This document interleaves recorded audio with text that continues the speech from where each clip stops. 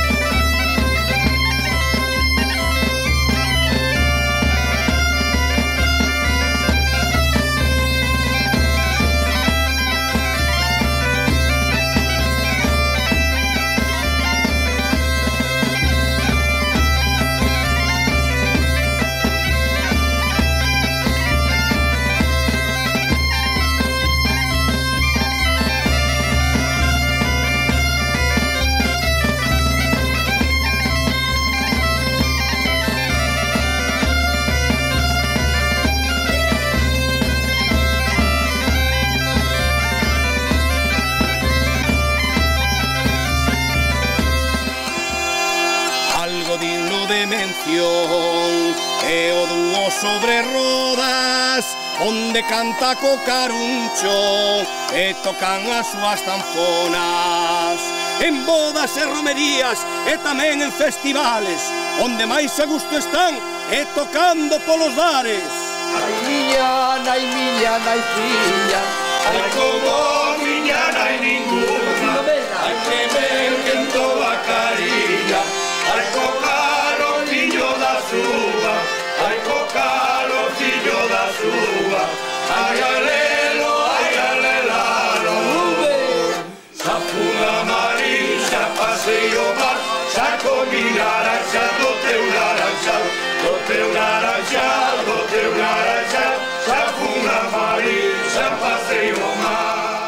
Levamos tocando xuntos a Zanfona xa unha boa temporada, xa cantáramos antes en, en outros grupos e, pois eso, é un maestro. Luís, me parece que foi o meu primeiro cliente no, do, do taller, vamos.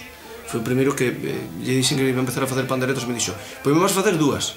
E a Carol de Caruncho, de Luis Caruncho, naceu tamén o Carlos de Viso o Cego, non? Sí, naceu, pois, a parte que, que fago de Cego, porque el tiña tanto traballo que me dixo, Pero ti por que, home, xa que cantas, non colles a zanfona e me vas a facer un chollo aí, home. é o meu alter ego, que quere decir máis que a min. Máis gordo. máis de todo.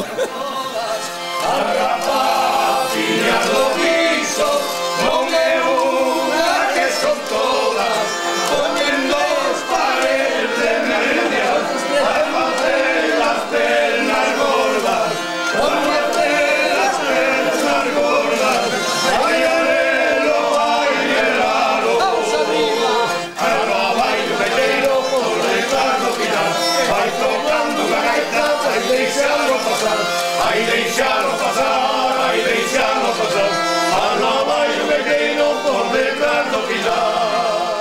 unha cousa que se está perdendo de cantar nos bares, pero aquí tamén un pouco polo, polo meu oficio, non?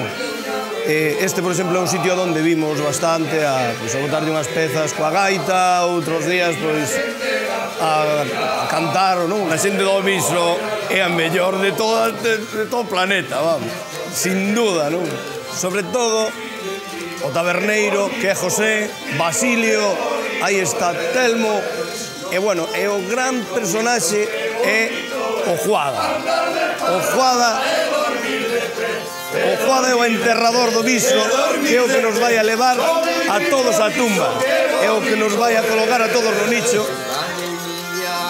Juada, ti crees que me vas a enterrar a min ou non? Se morres, ti. Yeah.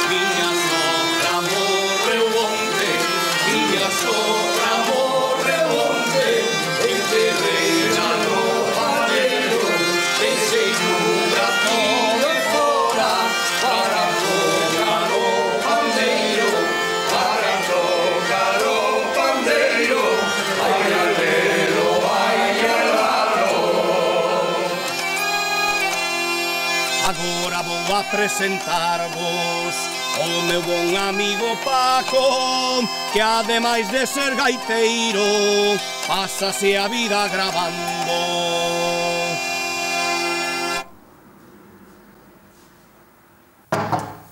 Moi boas. Nos de Dios. Mira, traeche unha pandereta aquí maravillosa. Sí. Para gravarlle a Lola de Toutón. Lola de Teutón, como me que quede ben, este, que quede ben. Hai que poñerlle unha flor aquí arriba. Dache igual unha rosa con unha margarita ou... A ela o importante que lle quede ben, entendes? Metémoslle unha flor, vale. Paco é meu amigo, principalmente meu amigo. Por riba de todo. E é o meu lazarillo, que me levou o... a miña primeira actuación de cego da man. Ademais diso, como vedes, é pois o gravador dos instrumentos que fago, eu que lle pon esa eh, connotación especial, ese, esa firma que solamente teñen os meus instrumentos, que son, pois, a man de Paco, non? Joder, Carlos, vou, vou cenar, tío. ah, vou te pagar que te quedou isto, non? Bueno.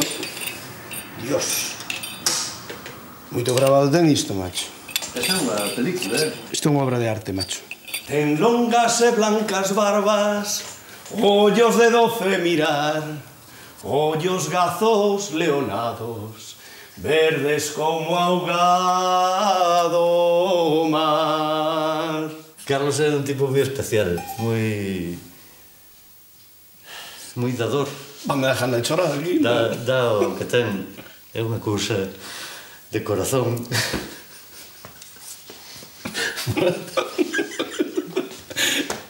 Vamos a ver. Corta aí. Corta os